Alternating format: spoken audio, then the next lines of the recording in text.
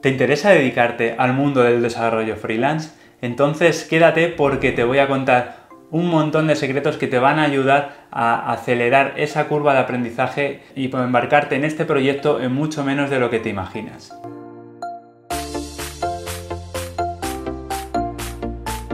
Pero antes de empezar, déjame que te cuente un poco mi historia. Ya desde la adolescencia y la, y la juventud siempre estuve muy interesado por el emprendimiento y siempre he tenido en mente que me gustaría crear mi propio proyecto. Tanto es así que ya desde hace mucho tiempo intenté cosas como por ejemplo comprar artículos en lote en Japón y luego venderlos de forma individual en eBay o incluso intenté introducirme en el mundo de la producción musical. Pero fue cuando decidí estudiar la carrera de ingeniería informática que me di cuenta de que realmente ese era el camino y que seguramente algún día me lo montaría por mi cuenta dedicándome a algo relacionado con el mundo del desarrollo.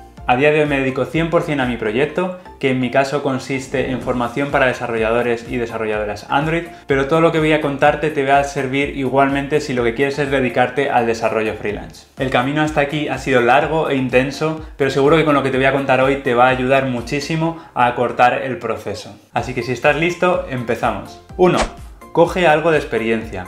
Muchas veces me preguntáis si podéis dedicaros al desarrollo freelance sin necesidad de haber pasado antes por una empresa y coger algo de experiencia en el proceso? La respuesta corta es que sí, pero te va a costar muchísimo conseguirlo. Lo primero porque piensa que vas a estar tú solo o tú sola ante el peligro cuando tengas que solucionar cualquier problema que te surja en el día a día. Y si no tienes una base, algunos problemas van a ser muy difíciles de solucionar. Por otro lado, esto es el equivalente a ir a una entrevista de trabajo. Imagínate que tienes que hablar con un posible cliente y le tienes que convencer de que tú eres la persona indicada para realizar su proyecto. Si nunca antes has hecho ningún proyecto o no has hecho ningún trabajo por cuenta ajena, no vas a tener forma de demostrarle que tienes los conocimientos que necesitas para solucionarle sus problemas. Para que te hagas una idea, yo cuando decidí dedicarme al mundo del desarrollo Android, ya llevaba más de 5 años trabajando como programador y eso no me sirvió prácticamente de nada para dar el salto a un nuevo sector. Tuve que enseñarle a las empresas para las que me postulaba que realmente tenía los conocimientos que ellos necesitaban para solucionarles sus problemas. ¿Y cómo lo conseguí? Quédate hasta el final porque en el cuarto punto te contaré cómo lo hice. Lo que sí es cierto es que si quieres que te tomen en serio necesitas una experiencia profesional y para eso lo mejor es que adquieras esa experiencia trabajando para otra persona. Es muy difícil dar una cifra concreta y obviamente cuanto más mejor, pero al menos dos años de experiencia yo creo que son realmente necesarios si quieres empezar a dedicarte por tu cuenta al desarrollo de software.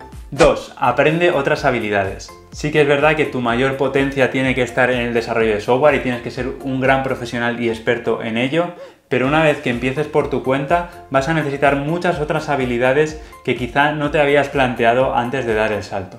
Cuando estamos en una empresa, normalmente lo único que necesitamos es saber programar y todo lo demás la empresa se encarga de ello por nosotros. En este caso, tú eres tu propia empresa, así que todos los departamentos de la empresa los vas a llevar tú. Y por tanto necesitas muchos más conocimientos extra que vas a tener que ir dominando con el tiempo. No te digo que los domines todos desde el principio, pero sí que tengas en mente que te vas a tener que desarrollar en todas esas facetas. Por poner algunos ejemplos, una de ellas muy importante es la mentalidad y el autoconocimiento. Vas a estar en situaciones límite y vas a tener que conocerte muy bien para saber cómo afrontarlas y cómo salir de ellas. Por tanto, te recomiendo que leas muchos libros sobre crecimiento personal y crecimiento profesional que te van a ayudar mucho a dar esos pasos y a confiar más en ti mismo cuando surjan esas situaciones. Otras dos facetas muy necesarias van a ser el marketing y las ventas. Piensa que a partir de este momento tu mayor prioridad va a ser el ser un vendedor. Sé que a nadie nos gusta ser vendedores, pero si quieres que alguien te contrate vas a necesitar vender tus servicios y por tanto vas a tener que convertirte en un experto en ventas o al menos dominarla lo suficiente para convencer a los posibles clientes de que tú eres la solución a sus problemas. Pero esas ventas no llegarán si no ha habido un marketing previo en el que seas capaz de alcanzar a esos posibles clientes de algún modo. Luego veremos algunas posibles opciones que tienes para ello. Otra habilidad que yo considero indispensable es la de hablar en público. Si no eres capaz de ponerte delante de una audiencia a defender unas ideas, te va a costar mucho afrontar las situaciones que te van a surgir en el día a día. Además, esto de hablar en público, como veremos al final, te puede abrir muchísimas puertas. Y por supuesto, temas como finanzas, vas a necesitar un amplio control sobre los ingresos y los gastos para que tu eh, proyecto personal sea rentable y también la gestión del tiempo. Piensa que a partir de este momento no vas a poder dedicar el 100% de tu tiempo a programar y por tanto debes compartimentar muy bien qué tiempo dedicas a cada una de las facetas que tu nuevo proyecto, tu nueva empresa va a requerir. Si esto no va contigo y lo único que quieres hacer es programar y ya está, entonces puede que la opción de emprender y la opción de, ser freelance no sea para ti. Plantéatelo muy bien antes de seguir adelante. 3. Haz networking. Yo siempre recomiendo el networking para cualquier persona que quiera avanzar y posicionarse en su carrera profesional, pero en el caso de un freelance en particular es muchísimo más importante. Al final lo que te van a traer la mayor cantidad de clientes son las relaciones que tengas con otras personas, personas que van a conocer a otras personas que pueden ser tus futuros clientes.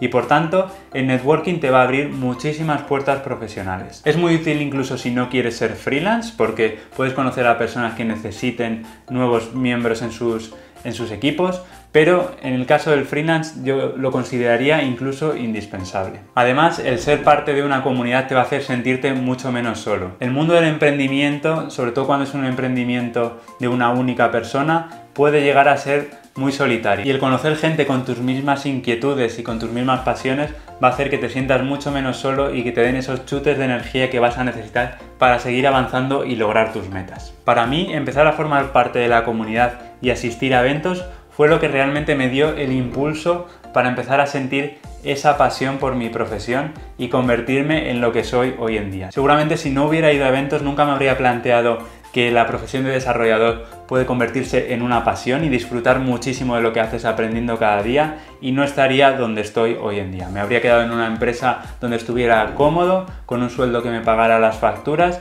pero sin disfrutar cada día de mi trabajo. Así que repito mucho este punto porque a mí fue uno de los que más me ayudó y estés en el punto que estés, realmente te recomiendo que empieces con ello y que asistas a eventos locales que se, hagan en tu comunidad o en alguna de las ciudades cercanas. Y cuatro, invierte en marca personal. A mí esto personalmente me cambió la vida, el centrarme en crear una marca personal fuerte que dé confianza a las personas que se acerquen a mí para aprender sobre el desarrollo Android o sobre cualquier otro servicio que pueda ofrecer. Es un punto vital para destacar sobre los demás. Si no creas una marca personal, vas a ser un número más dentro de las listas de opciones que los clientes van a tener para contratar. Y te va a ser imposible destacar sobre la competencia. Obviamente la experiencia va a ayudar, pero no va a ser un valor tan diferencial. Sin embargo, si puedes demostrar que eres un experto en lo que haces y que además te gusta compartirlo con el mundo, se te van a abrir muchísimas más puertas. ¿Y qué tipo de cosas puedes hacer para crear tu marca personal?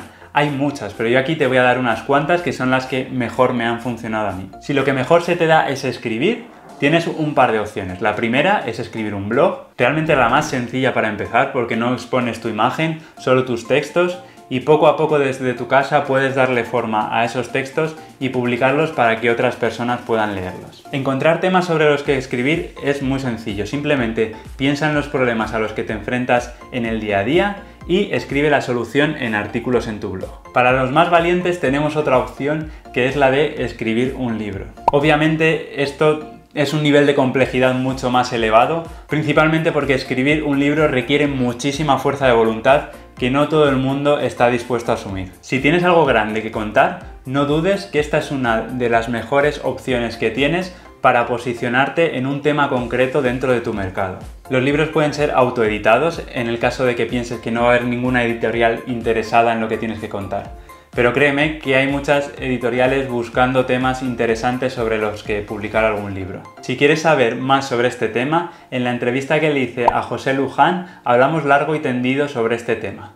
Te lo dejo por aquí por las tarjetas. Para los más valientes tenemos otra opción que son las charlas. Sé que a veces da un poco de miedo ponerse enfrente de una audiencia a hablar, de hecho es uno de los miedos más grandes que tiene el ser humano. En algunos estudios dicen que es incluso más grande que, el miedo a la muerte pero realmente una vez que te pones a ello te das cuenta de que no hay ningún peligro en, exponer una charla, en dar tus conocimientos sobre una temática en particular. Además, es una de las formas más rápidas de catapultar tu autoridad. Y esto es porque dar una charla requiere de muchas habilidades extra que un desarrollador necesariamente no va a utilizar en su día a día, pero que pueden ser muy útiles, por ejemplo, para liderar equipos o para organizar un proyecto. Si eres capaz de prepararte un contenido y darlo delante de una audiencia, habrás avanzado muchísimo en tu camino. Las charlas inicialmente podrían ser en tu empresa actual, de tal forma que estés en un entorno mucho más seguro con gente que conoces de tu día a día.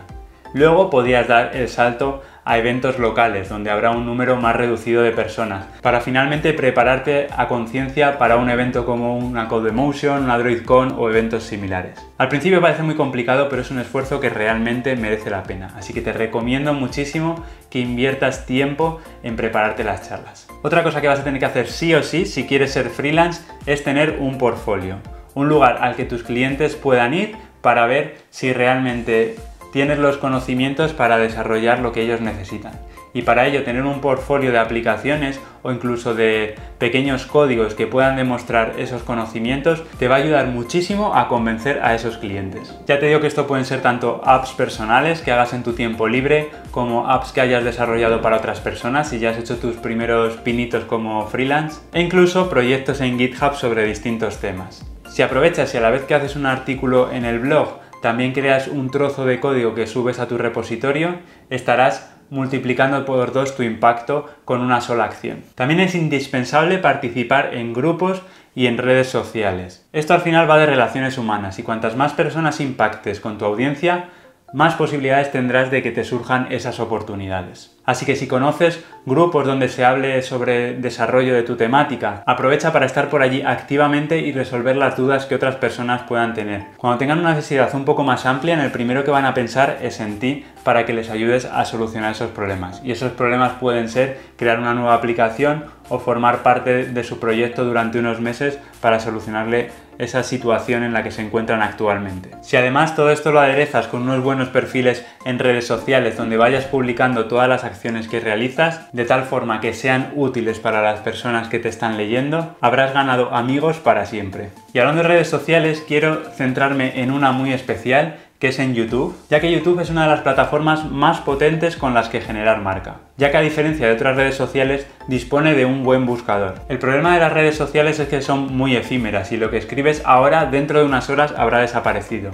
Pero esto con YouTube no ocurre, porque si escribes contenido de calidad, la gente lo buscará, acabará llegando a él, lo verá y esto hará que aumente su impacto en futuras búsquedas de otras personas. Por tanto, el trabajo que has hecho una vez lo vas a poder aprovechar durante mucho más tiempo. Es la mejor plataforma junto con el blog para que tu contenido perdure en el tiempo. Además, muchos desarrolladores lo usan en su día a día para seguir aprendiendo, así que es un entorno natural en el que la gente de nuestro sector se encuentra. Y por último, como consejo extra, si quieres ser desarrollador o desarrolladora Android, te animo a que empieces desde hoy. No hace falta que te lances a la piscina de un día para otro. Puedes ir creando tu plan B poco a poco y cuando ya sea estable y tengas tus primeros clientes, entonces decidir dar el paso y saltar a dedicarte al 100% al mundo freelance. Desde hoy puedes empezar a crear una marca potente para que en el momento en que decidas dedicarte al 100% a ser freelance, tengas esos contactos que necesitas para conseguir los nuevos clientes